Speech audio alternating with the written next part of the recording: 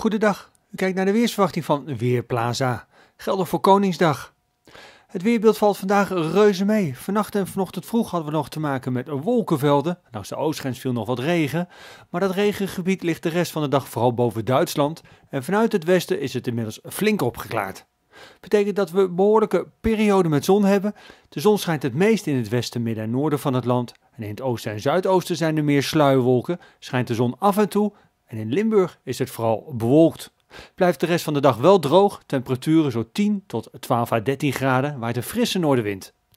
Vanavond draait de wind geleidelijk, begint ook af te nemen en vannacht wordt het dan koud met op veel plaatsen vorst.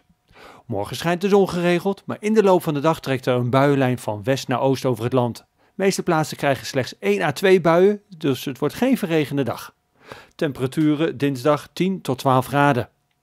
De rest van de week blijft het licht wisselvallig. Er vallen één of meerdere buien. De zon schijnt ook geregeld en af en toe kan het aan zee stevig waaien, vooral woensdag later op de dag. Temperaturen 10 tot 13 graden, iets onder normaal. Ik ben Michiel Severin van Weerplaza.nl en ik wens u een fijne Koningsdag.